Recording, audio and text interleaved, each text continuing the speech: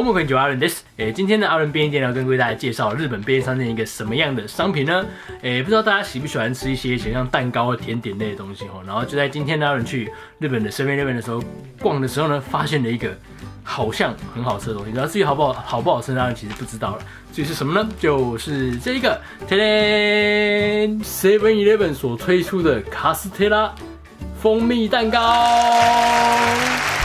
对，蜂蜜蛋糕，可是阿伦是很喜欢吃蜂蜜蛋糕的人了，不过不知道它这个好不好吃。那我们现在就实际的把它打开来看看吧。它开的时候还蛮贴心，它这边有设计一个就是开口可以让你直接撕开的一个小缺口，然后我们就要把它打开吧。喂，哦，诶，嘿，江江，喂，一个像这样子的盒子跑出来了，然后我们现在就打开来喽。叮，哦，有一张纸，叮，哦，超级漂亮的，看起来超漂亮的。然后上面这个有一个有一层像焦糖的东西，有没有？这个在蜂蜜蛋糕，啊，你最喜欢吃这上面这一层的东西。我们来闻闻看，嗯嗯，有一股很甜很甜的味道，那种蜂蜜的味道，这样慢慢的这样飘出来，感觉应该还蛮好吃的哦。好，我们马上就来。试试看看吧。我们先准备好一个盘子，然后准备把它放在盘子上。好，我们现在已经把它放到盘子上了。我们给大家稍微的再近看一下哦，有没有它的蜂蜜蛋糕呢？很漂亮，尤其是这个后面这里呢，大家可以仔细看一下，这后面底部有这样白白的一点一点的东西，有没有啊？这个应该是呃砂糖的部分吧。然后下面这个一点一点白白的部分，就是你在吃的时候那种口感会比较棒，就会有那种沙沙沙那种感觉哦。啊，非常喜欢那种口感。我们现在马上来试试看看吧。不过它下面有一层纸啊，大家不要把那个纸也吃下去了。有一层这个纸，要先把它拿起来再开始吃哦。好，我们现在马上就来试试看看吧。いただきます。啊，嗯，哎，嗯。 刚才阿文有说下面有一点一点白白的，说是糖嘛，可是怎么完全没有糖的那种沙沙沙的口感？不过它味道是好吃啊，就是甜甜香香甜甜的那种感觉，然后带一点蜂蜜香，然后上下的那个焦糖呢都非常好吃。不过就是阿文一一直以为它会有那种吃到砂糖的那种口感的，结果没有。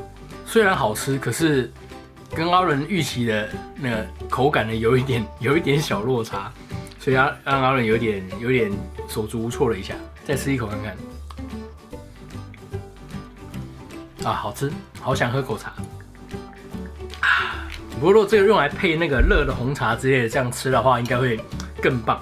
因为他们没有时间了，所以就先喝冰的冰的乌龙茶。嗯，算是没有失望的感觉。嗯，可是就是口感呢，而是如果它下面底层是有一点那种脆脆的糖的那种口感，如果有的话呢，就更完美了。好的，以上呢就是今天这个日本的 Seven Eleven 所推出的卡斯特拉，呃。蜂蜜蛋糕的一个简单的介绍跟试吃，大家觉得怎么样呢？诶，像阿伦是目前是觉得它还算还蛮 OK 的，算好吃。可是就是，就像刚才阿伦讲，就是唯一一点有点觉得小小遗憾的地方，就是它的。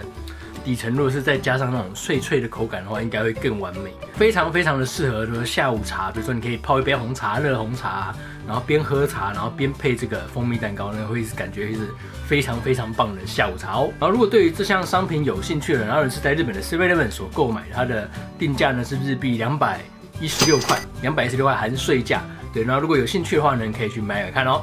好，那今天的阿伦便利店呢就到这边结束啦，我们下次再见，拜拜。阿伦 channel 呢，主要是跟各位大家介绍阿伦在日本的一些所见所闻呢，像日本一些有趣的产品啊，或像这种日本的便利商店呢，所谓贩卖的一些东西的试吃啊，跟一些心得的分享等等。有兴趣的欢迎订阅阿伦的频道来追踪阿伦的第一手的影片资讯哦。另外呢，这边呢是阿伦的 Facebook 粉丝页跟阿伦的 Instagram，有兴趣的朋友追踪一下阿伦哦。阿伦会把自己的一些生活上的一些事情呢，都放在这边分享，不要忘记去追踪哦。